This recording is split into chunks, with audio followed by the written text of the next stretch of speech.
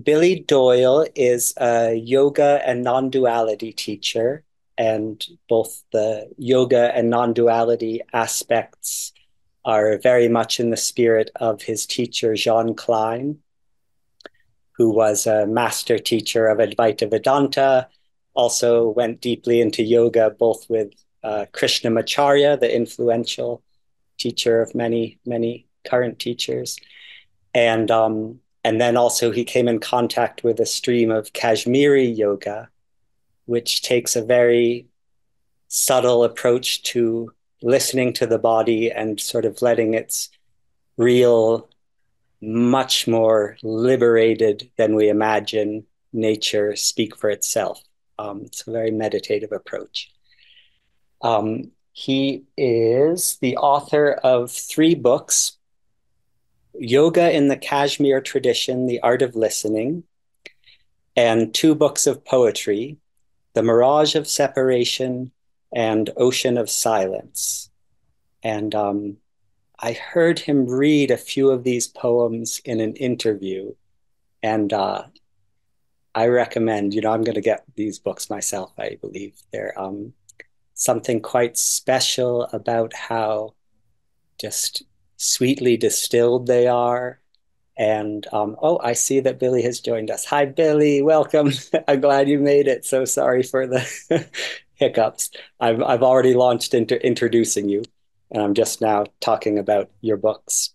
Um, so yes, the Mirage of Separation and Ocean of Silence, from which I've heard just a few poems that Billy read in an interview, and um, they just struck me as so resonant and and just sort of each one just a like a very short footpath into you know one's own freedom silence. So um yeah. They're they're they're potent special and sweet little poems.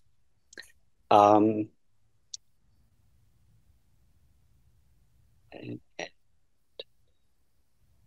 Yes, and that, that's about it, um, except to say that um, uh, one among many reasons that I'm eager for Billy to speak to us is that, you know, I personally have found uh, Jean Klein's approach to to body awareness, body exploration has been incredibly good company in Zazen, um, as well as in Kinhin and driving and having a conversation what have you.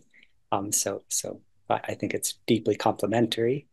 Um, and as you'll see, Billy is just a beautiful spirit who has beautifully helpful things to share. And um, it's some measure of his generosity and his spirit of service that he's talking to us at one in the morning, his time.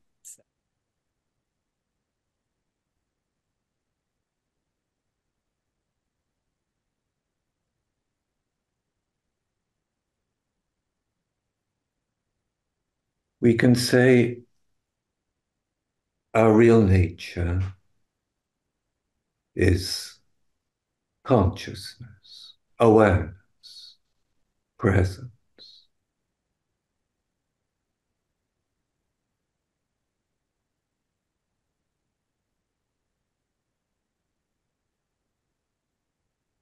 There are no words for what our true nature is really but we need to use words to communicate. But we take ourselves not to be simply presence, awareness, but an object in awareness. A body, a mind, a personality. By doing so, we forget our real nature.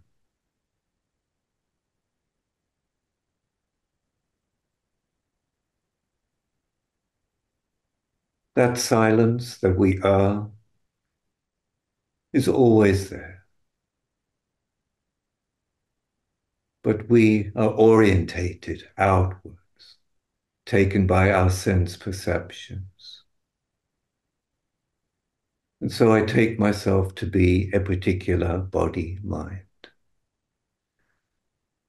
a particular personality.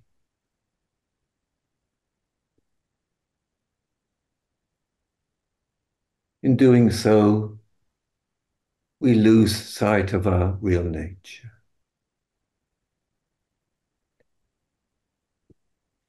When we become identified with an object, we inevitably invite insecurity, fear, desire.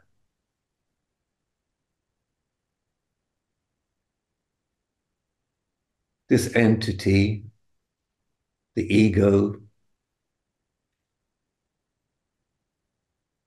can never be totally happy, contented. And so it will pursue objects, experiences,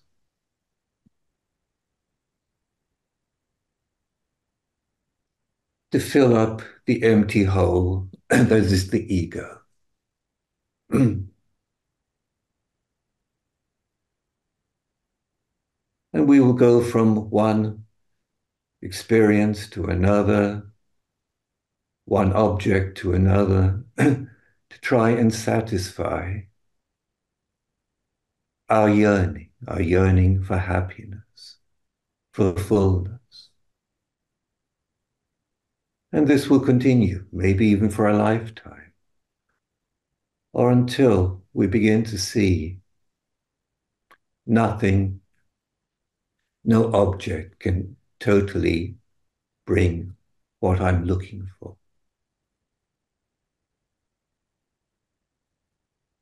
It may do for a short while, but then I'm looking again for something else. And this may start a deeper questioning in us. We may begin to ask deeper questions. Where really does happiness lie if it doesn't lie in objects? There may begin a spiritual search. We may hear from a teacher that our true nature is not the body, not the mind, not the personality. And we may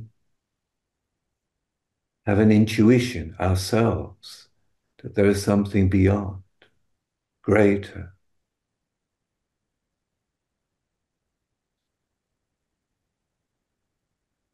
We may start trying to change ourselves, trying to find more harmony, more peace, change our behavior. But unless we really learn to observe ourselves, by which I mean just listening, not trying to change, but just listening, not trying to analyze, criticize, but just this quality of observation.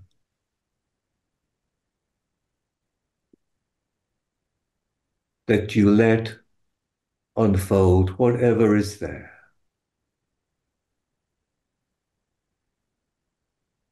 Observe yourself in day to day activities, in your relations with others. Again, not trying to change it, but when you observe, listen in this way, you find yourself no longer locked in what you're observing. You find a certain space, a certain distancing, a, a kind of natural detachment comes. So you allow an unfolding there's a sense, a certain sense of freedom when you learn simply to listen to yourself, observe yourself. As I say, without trying to change things. You find yourself just listening, just observing.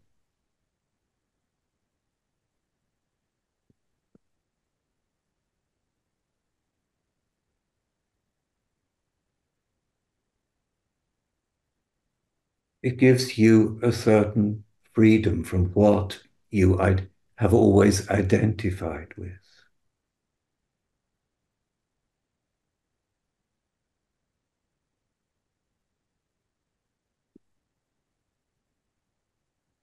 This pattern, this mm,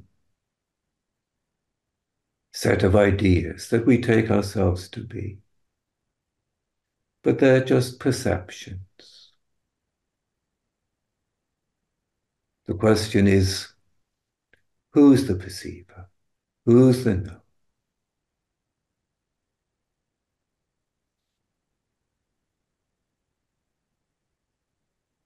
The ego, the self image, is a contraction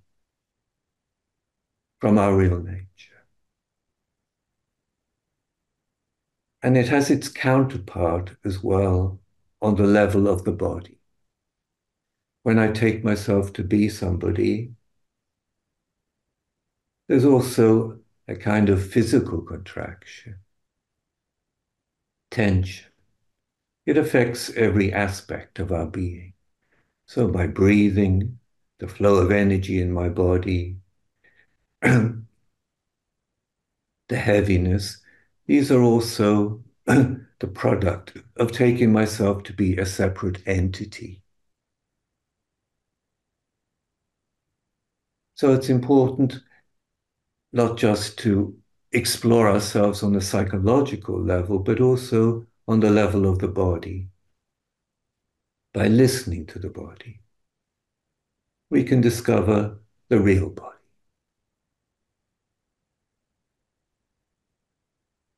When you come to a deeply relaxed body and just listen and allow the feeling to awaken, you come to a different experience of your body.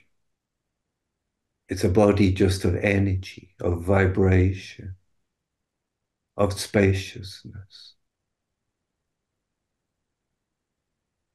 And this feeling of spaciousness, which is without borders, without inside and outside, gives us a glimpse, a forefeeling of our real nature.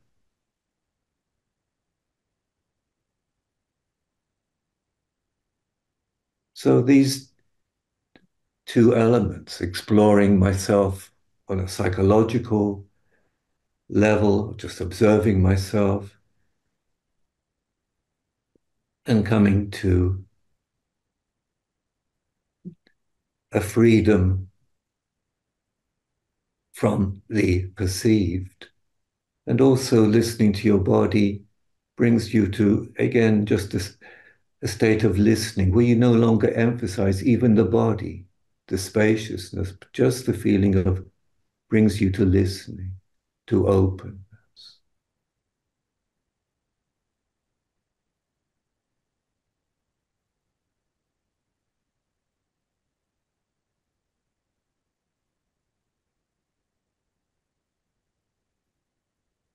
The mind can never bring you through thought to come to know your real nature.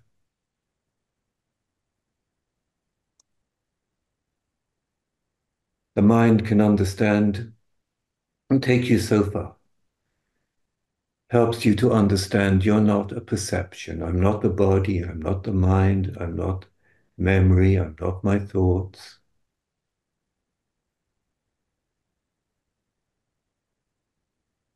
But the mind cannot bring you to who you are, what you are. It's beyond the mind, because mind deals with concepts.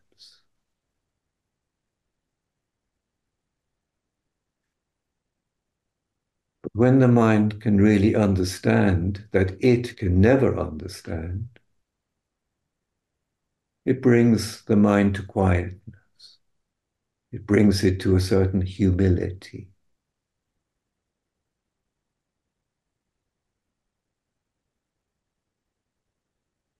In that giving up of looking, of trying to grasp, of searching,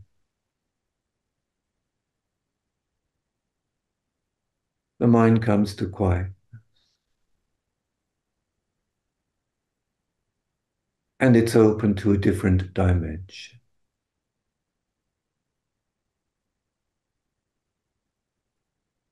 You come to a state of not knowing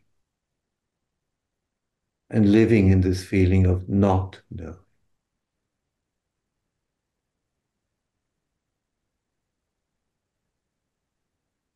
And it's only when we come to this not knowing that we're available ultimately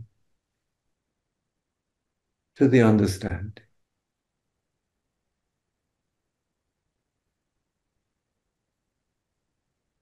We become open to open.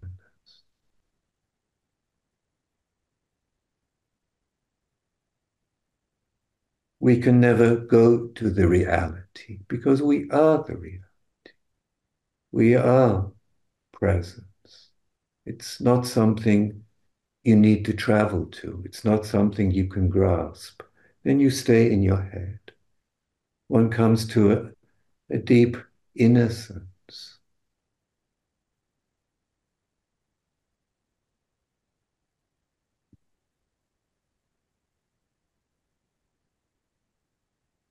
We become a veil.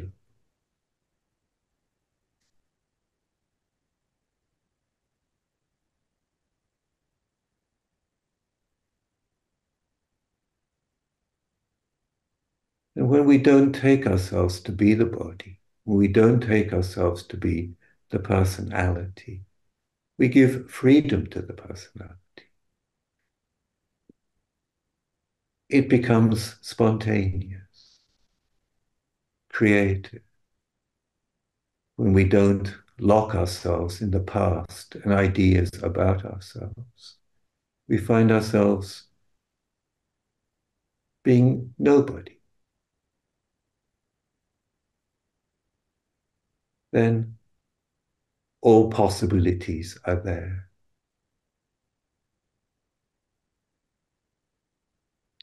So, this let this be the introduction to our discussion. Um, so I'm happy to take any of your questions. Um, so if you do have a question, um, please, um, if you'd like to go ahead.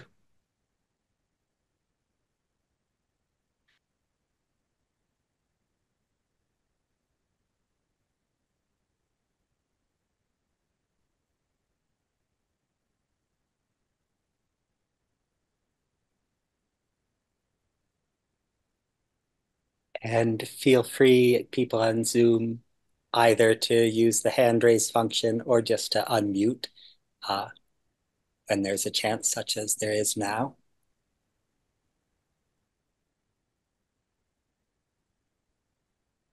Yes, John. Yes, uh, thank you.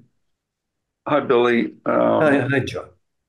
Um, I had, a, I think, the last time that I listened to your talk um, a week ago or so. Um, I asked you a question about um, about listening, and yeah. um, and in that case, it had to do with um, I was using the example of um, um, listening to uh, bird song and uh, just sort of ambient sounds in the room or in the uh, around the house, that sort of thing. And um, my experience with that is that um, at the level of my perception of the sounds, um, or the, I guess I could say I'm, it doesn't seem to be a someone who's actually hearing the sounds. It's just um,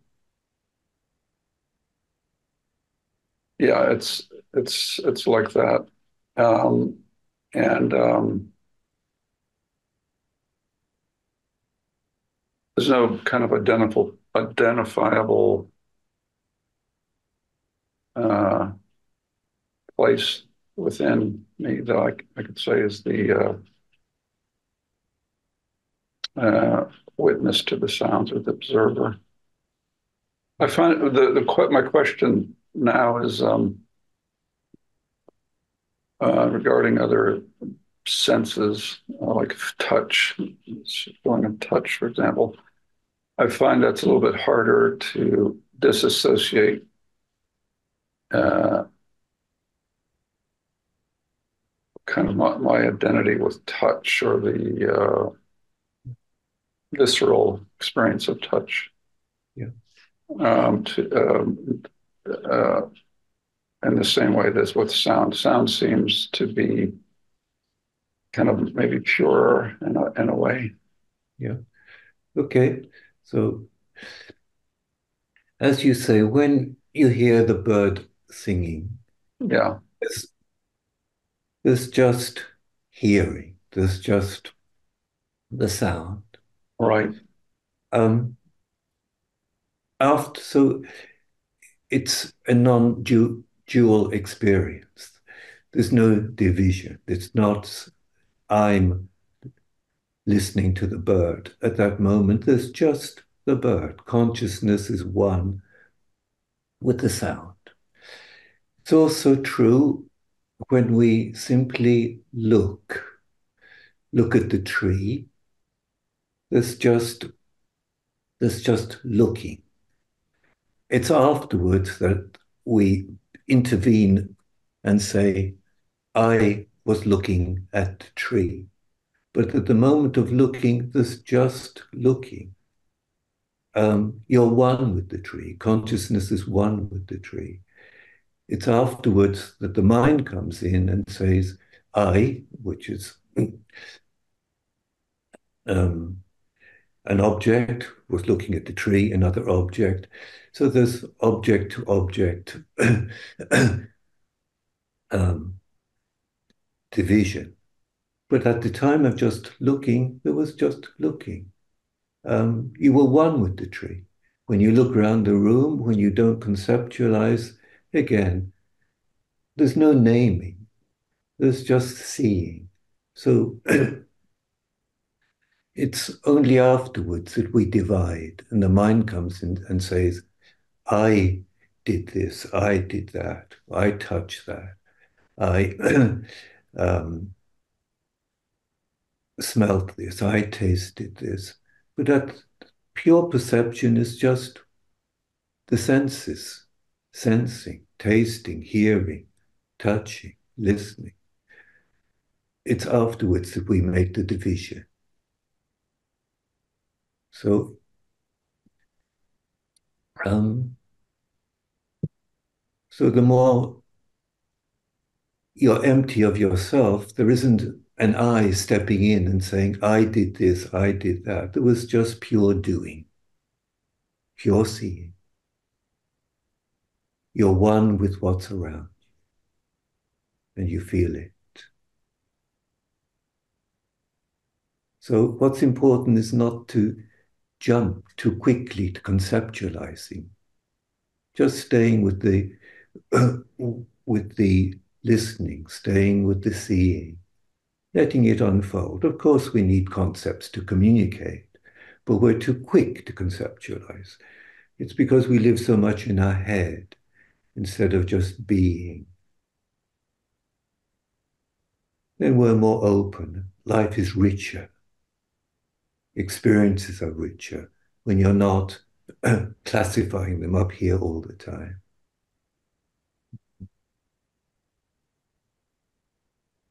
Um, and also just the way you see. So when you look at the tree, I would say just let the tree come to you. We tend to kind of grasp with our eyes or other senses, which creates tension. And so let the world come to you. See the world, but just let it come. We tend to grasp with our senses, particularly the eyes, which brings tension to the eyes and to the brain. Sif, yes, let things come to you. It's a different way of seeing, hearing. We're no longer grasping.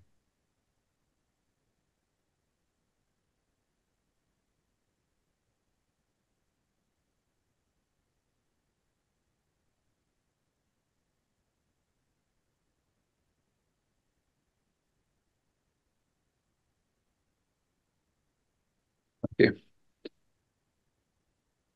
Okay, thank you, John.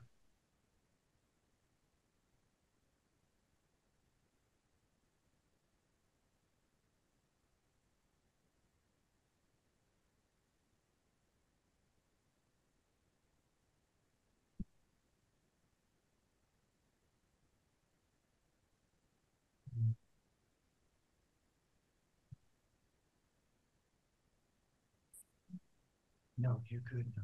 It's- Okay. It's turned it up.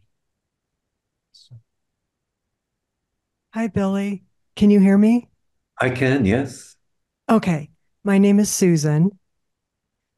Okay. Um, I'm not quite sure the question yet. Um, I I guess it's for about a year now, I've been experiencing quite a bit of pain in the body.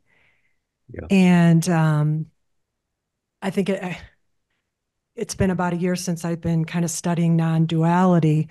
Um, so conceptually understanding I'm not the body, um, that this body, I'm not sure if I'm explaining this right. I don't really quite understand it. The body's in consciousness.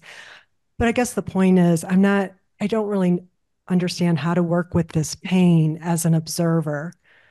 Um, I guess that would, how to, how to work with the pain as the, observer. And then also, you had just in the meditation talked about tuning into the body, listening to the body. So does that kind of does that imply like asking the body a question like what do you need? So anyways, um yeah, that's that's kind of what's on the forefront right now. Okay, thank you. Thank you. So when there's pain in the body, um,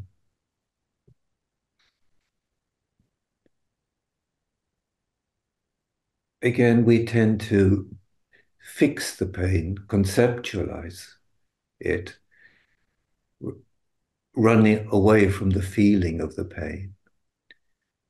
So I would say it's important just to face the pain, allow it, don't even name it, but just give it the opportunity to, to be felt.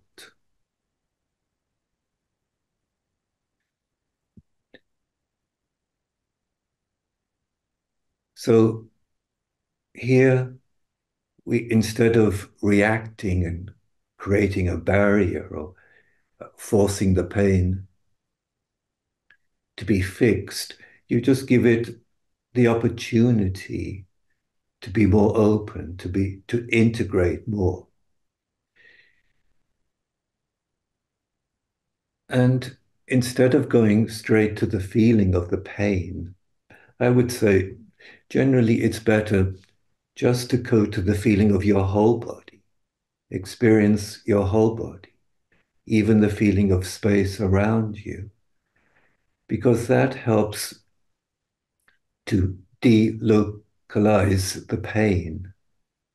It helps that frozen energy to, to melt. So it's knowing how to face pain and not immediately to make it into an idea, because then it will not unfold, it will not release. So, it, what's important is to actually experience it and allow it.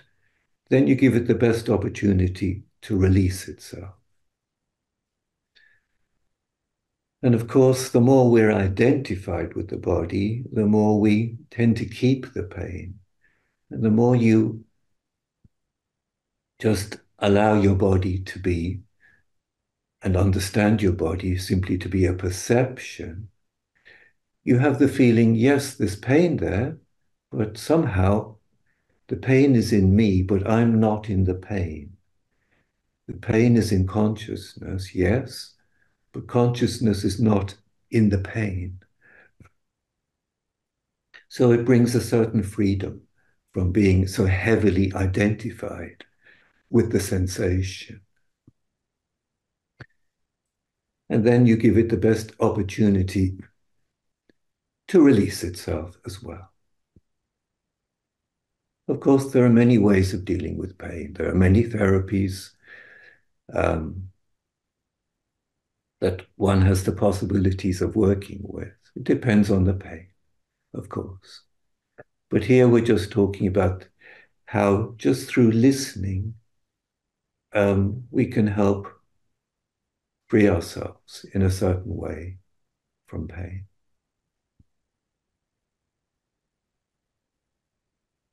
Can you expand, please, on what you mean by listen to the body? I yeah. I don't really understand that. Right. Okay. Maybe at the end of the class, uh, our meeting, I'll we can do something of this nature, listening to the body. It means just our body is so much an idea in our heads.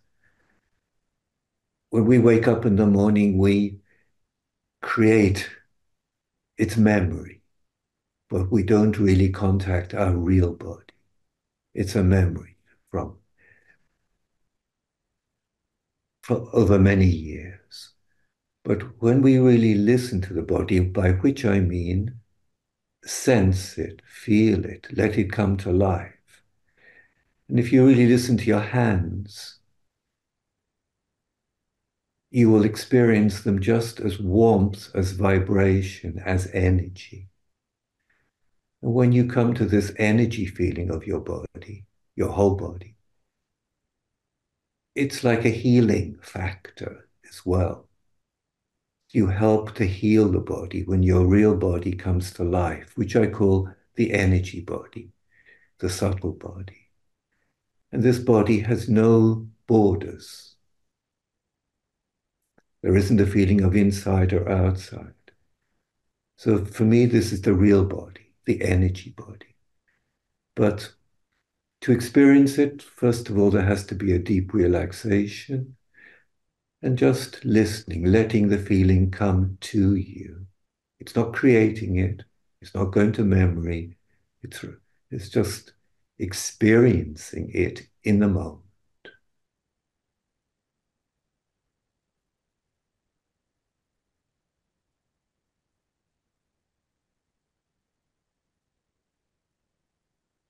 Ultimately listening to the body brings us to listening itself, awareness itself. We no longer emphasize what we're listening to, but just the feeling of listening itself. It brings us to our real nature.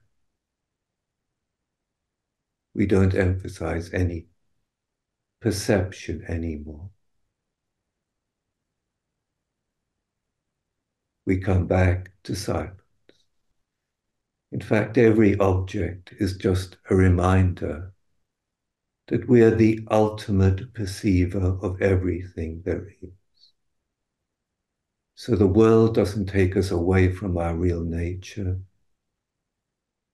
Correctly understood, it just reminds us who we are ultimately.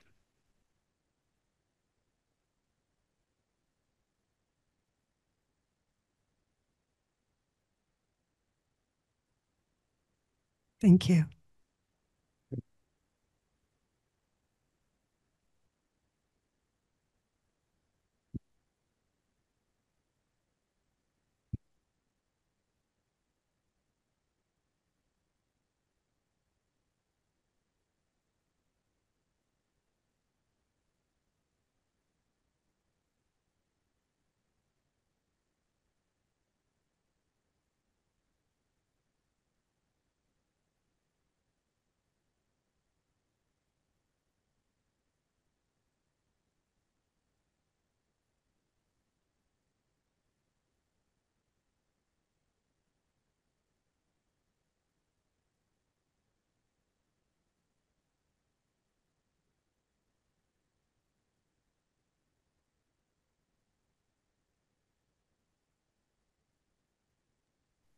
Um, uh, Billy, I have um, a pretty half-formed question. Um, Yeah. and it's partly just sort of because I I feel a duty, which maybe I don't need to at all, to like um, ask a question on behalf of people who are used to a Buddhist framework, you know? Yeah. Um, and um, so um, you know, and there's a there's there's a long history of philosophical suspicions between Buddhist and Vedantic traditions, and then coinciding at other moments and stuff. And um, and so I think a couple of the suspicions that some Buddhist thinkers have had historically are that when um, an Advaita teacher or somebody uh, you know invites you to to to to not objectify yourself and to to you know as Jean Klein would say that your nearest can't be objectified and doesn't need to be which is you know a great freedom. Um you know they might suspect this of being a subtle dualism between the changeless and the changing or or kind of a substantialization of a witness consciousness something like that I was very struck, you know, I, I don't feel this way myself. I feel that, you know, what you are, the, the way you're invoking, um, I think if, if, if, if one really takes seriously not objectifying whatsoever, then this means that, you know, it's like splashing into a sea or something. There's no keeping objects out either. You know what I mean? There's no, there's no, there's no possible duality um, in that. Oh, I, am just tripping over myself. I, I, yes. Um, uh, I guess uh, one question is okay, let me make it simpler. When you're talking so beautifully about um, letting the feeling of the body come alive, uh, and how in the feeling of the body coming alive without constraint, it frees you from, you know, feeling confined in any of its regions. Um, mm. This seems to be to be kind of, in a way, ceasing to objectify the objective as well as the subjective. Do you know what I mean? You know, it's it's it's it's it's ceasing to. Oh well, I may not be able to produce a coherent question tonight. but if you have any any if, if you have any riffs on anything I've said. It's um, as as I was saying, it's um, the body is for most people it's it's an idea it's it's a concept. It's we're not deeply acquainted with the real body because it's so fixed in our minds what the body is. Um, and when we wake up in the morning, we the pattern becomes repeated, and um, and we live with that um, certain fixation. But if we would really come to the relaxed feeling, first of all, and then really listen to the body, letting the body just be the body and not a concept in the mind, we experience something that is like space, is a certain kind of emptiness, spaciousness. Of course, it's still a perception. it's still, if you like, a subtle object. But it helps to open us.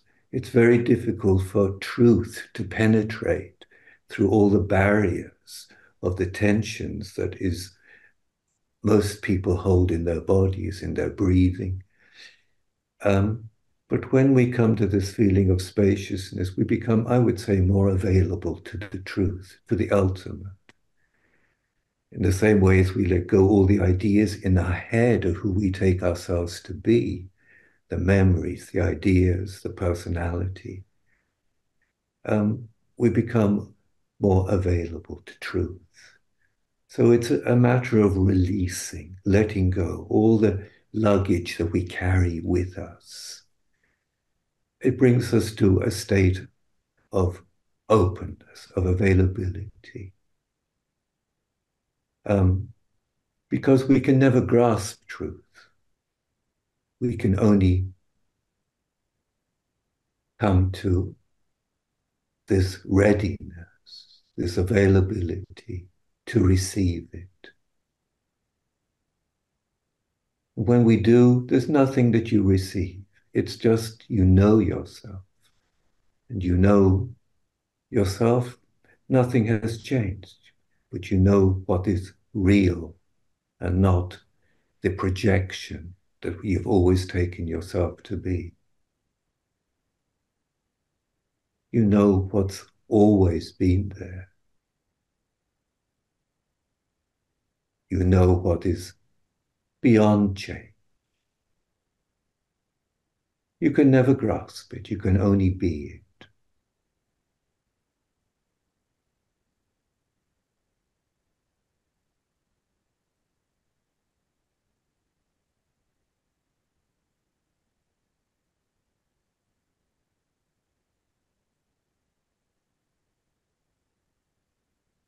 Thank you very, very much, Billy. And probably for the sake of time, if you would like to do the final segment now, the guided. We will.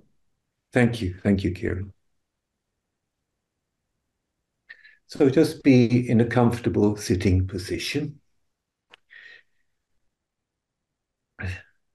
Feeling where you're actually sitting, where you touch the ground or chair, where your feet are resting, where your hands are. Let the hands, the arms be at rest.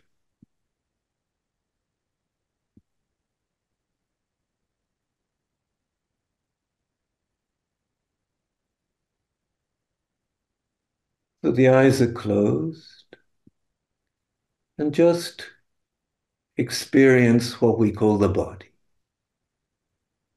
without me, as if you've never felt it before. What does it, how does it appear? Feel it without thinking.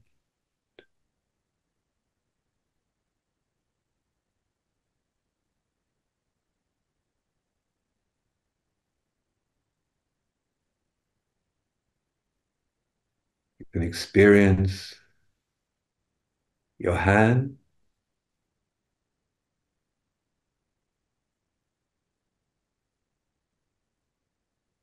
their warmth, their vibration.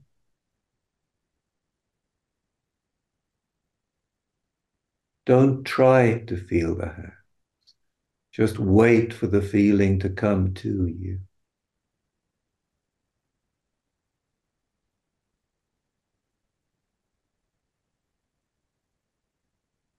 Experience your arm.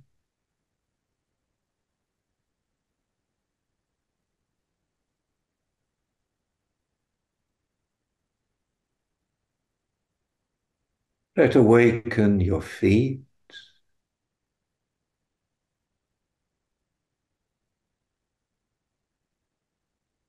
Your leg.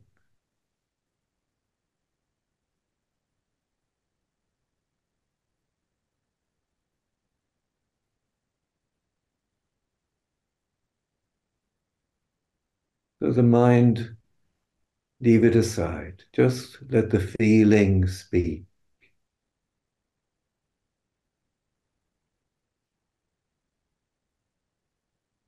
Feel your trunk. Do I tend to let it slump a little bit, or can I allow that feeling of effortless verticality, the spine floating?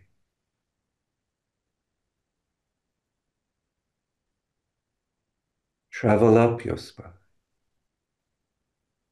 Feel your head as a continuation.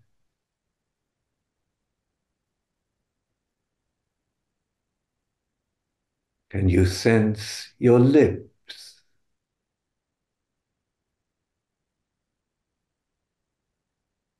The inner walls of your mouth.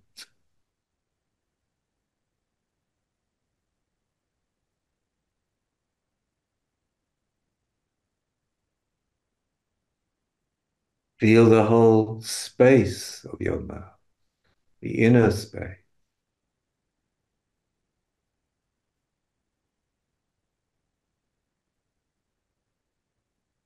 How does the jaw feel?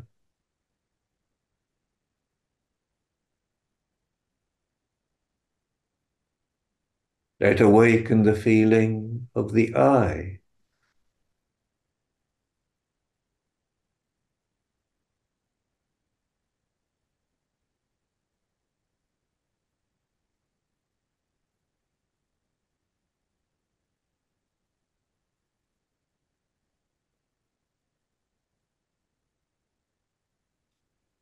Feel their spaciousness.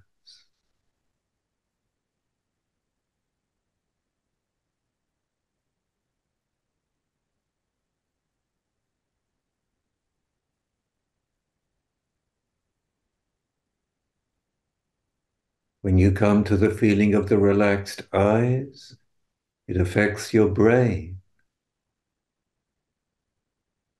Let us experience also the brain, feel the left hemisphere of your brain.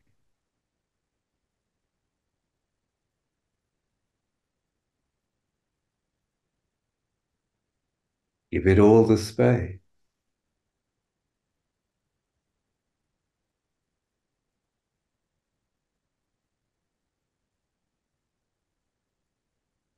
Feel the right hemisphere of your brain.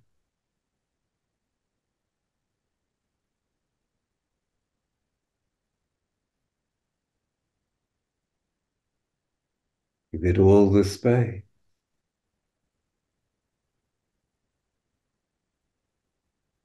Left, left and right hemisphere as one.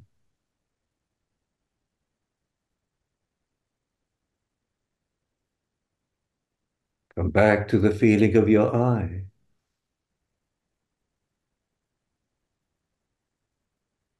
Let them soften.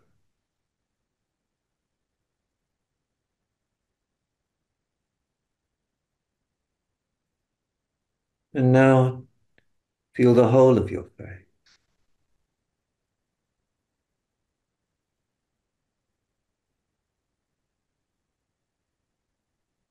Again, feel your hand,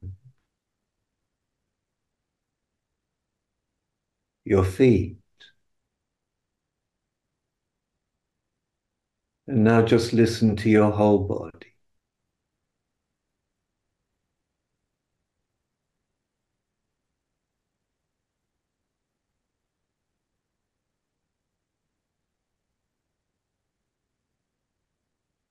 Feel its warmth, its vibration, whatever comes up.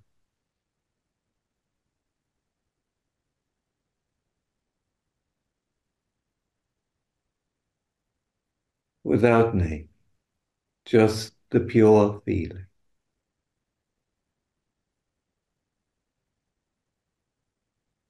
Feel the front of your body.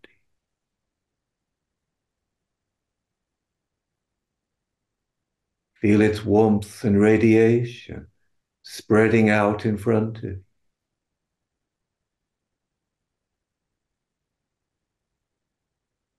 Like you're embracing space.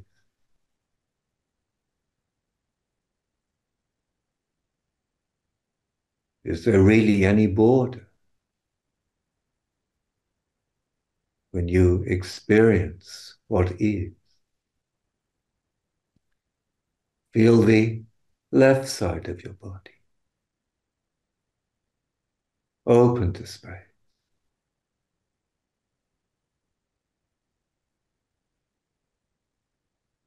Feel the right side of your body. Open to space.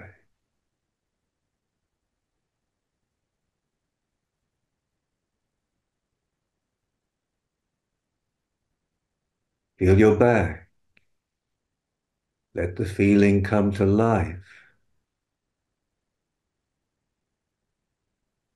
No effort, just wait.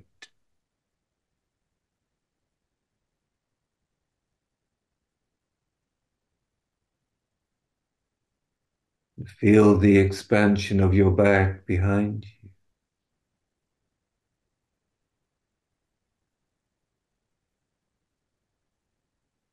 And now come to the global feeling of your body.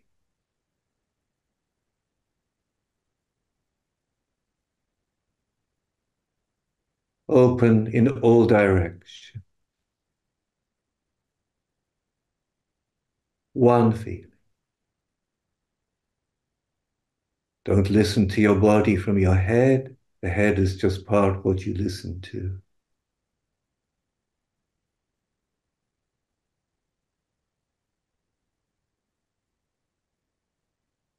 You're one with the space all around you.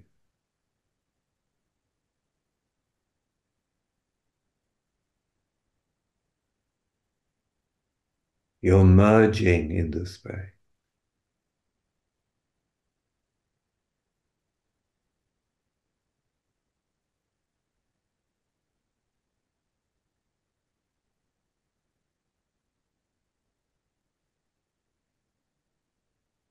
This feeling of spaciousness frees us from living in the head.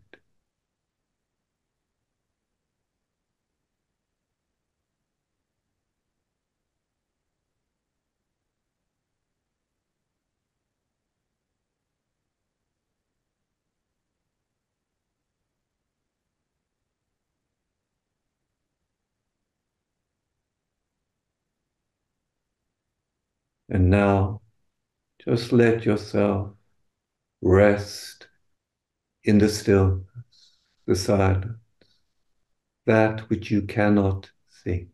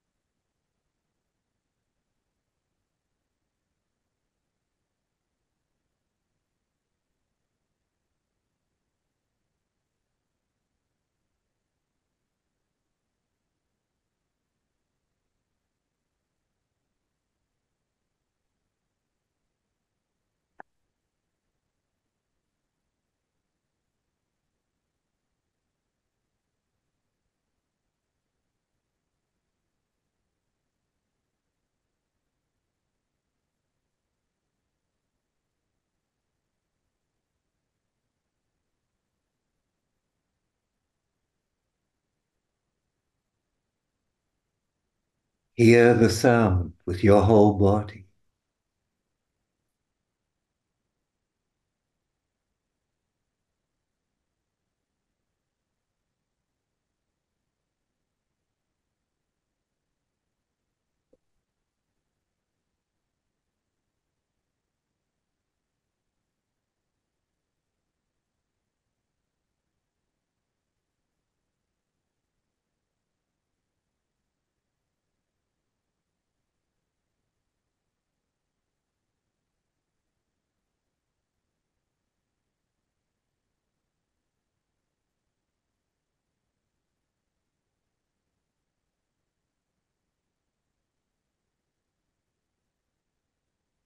So thank you for coming today.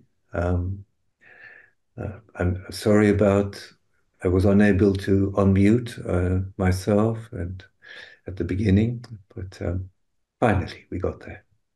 So thank you, Kieran, for inviting me, and um, thank you all for coming.